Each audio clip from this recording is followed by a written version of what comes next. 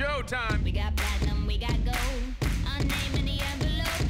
Boom, boom with a cherry on the top. And the Oscar goes to. The Oscars, live Sunday, March 4th on ABC.